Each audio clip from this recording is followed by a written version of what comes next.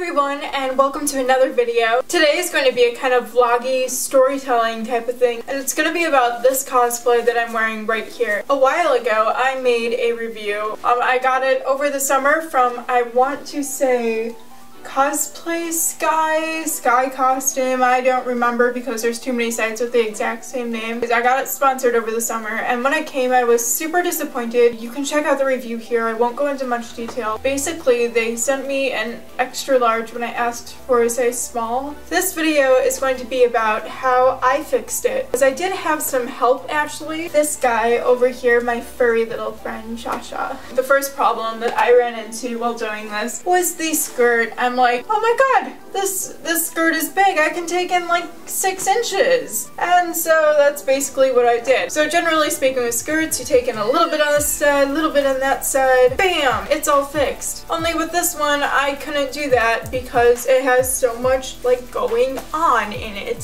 So I'm like, okay, what if I just take off the skirt from the waistband, detach it, and then fix it? And I'm looking at this, it's like low quality fabric, and there's all this interfacing around where they stitch the belt to the like pleated stuffy stuff. And I'm like, okay, if I if I take this apart, it's going to tear to shreds. It's not going to stay. So basically what I ended up was just taking it in at the side. The next problem was how short this skirt is. Okay, the red part, you know, mid-thigh, that's okay length. The black part, it's like this is really I cannot wear this out in public. There wasn't much I could do, so I just put on some shorts underneath it. The next major thing that I did was the top over here. The second I opened it up, one of the buttons fell off. And because I am me, I lost that button like immediately. So I was not able to fix these suspenders. My plan is to just get actual red suspenders that I can just use and put brass buttons on. But anyways, the shirt was super, super big. You could put two of me inside of that shirt. So I took it in, I want to say like four inches. And once I did that, I tried it on and I'm like, wow, these sleeves, they went down to like here-ish. And I'm like, okay, I'm not cool with that. So I took in the sleeves too. So I tried on the shirt again and I'm like, this time it's gonna work. It's gonna work, and guess what? It kept sliding forwards. Well, I can't wear this in public either, so I added two pleats to the back of the collar. That way it would stop from sliding forward so much. Do not eat streamers. Streamers are not food.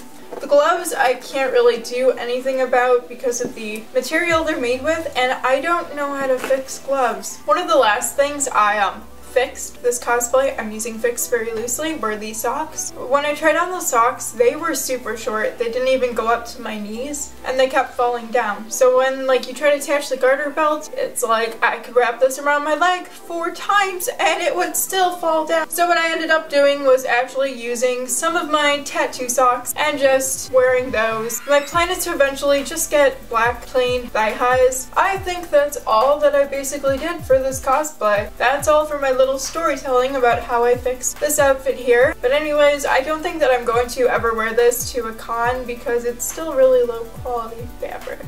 Oh, also, please don't order from Sky Costume. Please do not order this costume. Do not order from this site. You will be so disappointed and I, I don't want to see any of you guys as disappointed in a cosplay as I was with this one. So please stay clear of that site and thank you guys so much for watching. I love you all.